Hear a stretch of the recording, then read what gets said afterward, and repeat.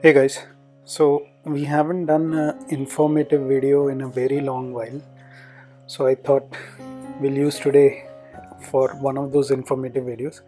So, all you two stroke riders have a very important question on your mind. Should we premix the oil in the petrol and pour it in the petrol tank, or should we uh, use the 2T pump or the auto lube pump for Yamaha specifically? Other brands had a different name, but Yamaha patented it um, and they called it auto lube. Okay, so before we talk about um, which is better, it is very important to understand the Japanese philosophy or the Japanese lean principle. Okay, so Japan Japan was a country which was completely ravaged by World War II, and when the first nuclear bombs were dropped on Japan, the country was destroyed.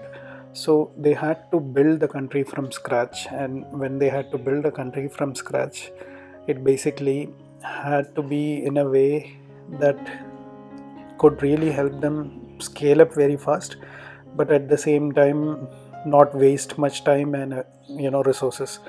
So what uh, basically Japan did is Japan basically uh, followed a principle called lean principle. So in a lean principle, the basic question that they ask is whether it is necessary and whether it is important. Let's say it's about adding a small nut or a bolt.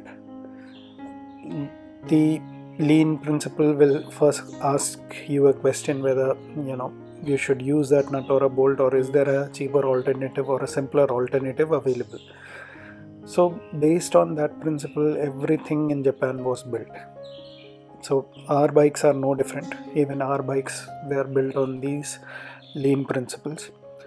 So the auto lube or the 2t oil pump that you have is not a completely useless thing. But um, if you ask me it is a pretty dangerous thing to rely on and it is dangerous because it can fail at any moment and it can fail without any notice.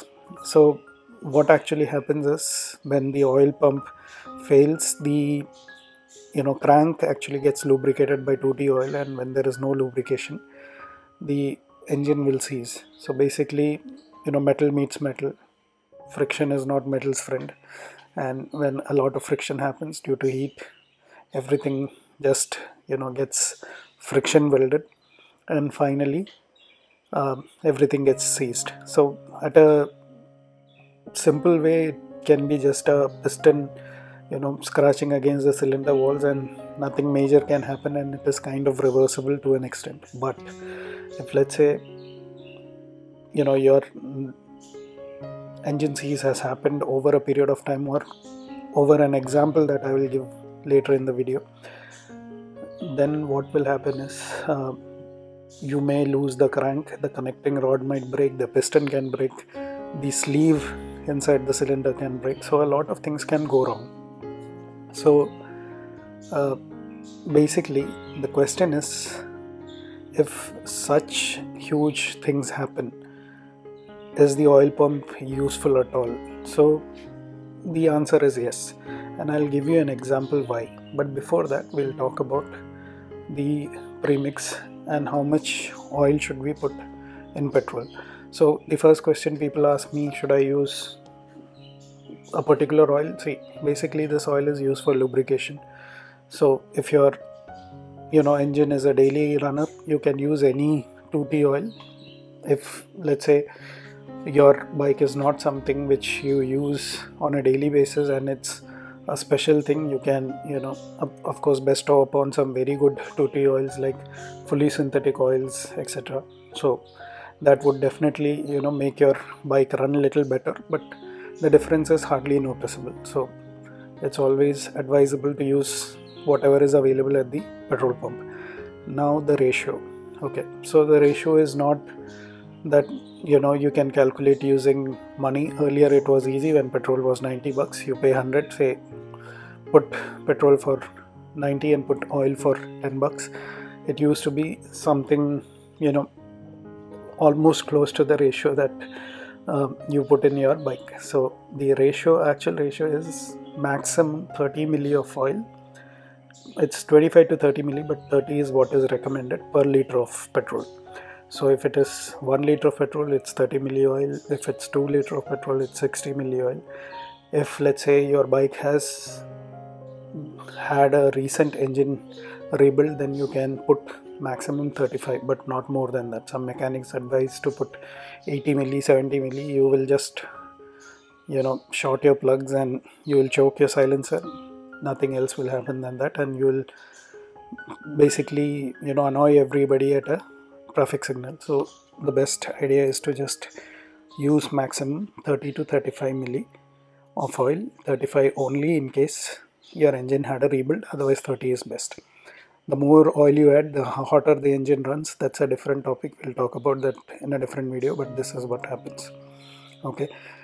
Now the question is in what scenario the oil pump is useful? So let's say you know scenarios where you do a lot of engine braking so when you do engine braking there is no petrol going into the engine. So basically the carburetor slide is shut. So it won't pull fuel from uh, the bowl and it won't go into the uh, the cylinder and that because of which the crank will get oil starved after certain amount of time and the engine will cease. So these kind of scenarios don't happen when let's say you are doing a sprinted ride on the road and all of a sudden you decide to downshift and use the engine braking and then take uh, take off again. So those are like you know millisecond things. So those things don't really affect but there are scenarios. But in case you have an oil pump as you can see in this video the oil injection happens after the carburetor slide. So basically um, the engine doesn't starve. So even if you're doing a lot of engine braking you're still getting oil getting pumped into the manifold. So basically for short shifts or you know short stint of engine braking things don't go bad. But let's say you're going downhill and if you're using engine braking you're definitely going to ruin your engine because a two stroke is not meant to do engine braking okay? So that is basically where the oil pump actually makes a lot of benefits. Plus it again you know helps common people from doing mathematics and calculating okay i have put 200 rupees worth of petrol. Today petrol is this much so that much liter is what i got so this much milliliter of oil. So the oil pump basically helps you do the calculation. So another thing is see oil pump can have an airlock. So even if there is no uh, seal damage in the oil pump it can still stop pumping oil into the cylinder sometimes if there is seal damage then there will be an oil leak and you will know that you know oil is leaking out. But there are scenarios where that doesn't happen. So there are situations when oil seals are intact uh, or you know there is just an airlock. So at that time if your oil pump is not pumping fuel and you're not i mean pumping oil and you're not putting 2t oil along with the petrol in the tank then it's a sure shot recipe to ensure that you can kiss your engine goodbye. So basically oil pump is good in certain scenarios but oil pump is not that great in certain scenarios. Um, so if you ask me what do you choose? I would always choose putting 2t oil in the petrol tank. Primary reason one it is good for the tank so it doesn't rust. Second is you can be sure that even if the oil pump fails there is oil. Uh, some people ask okay shall i use a bit of both? No that's not a good idea. Oil pump will keep on supplying the regular amount. Whatever you add in the tank will be extra so that will definitely cause more problems. So that is something that you don't do. Now the second question is do i only put oil in tank? Yes.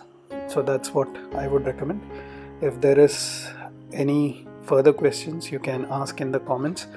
And of course engine braking is something that you should avoid on a two stroke on any cost. Use your clutch or if you're you know coming downhill just put your bike in neutral and use the brakes to uh, bring the bike to a halt. If you're coming downhill engine braking is something that you don't do. Okay? So i hope this video was informational if it was please like share and subscribe. And of course if you've had similar scenario where your engine blew up because of engine braking do comment and we'll see you in the next video. Bye bye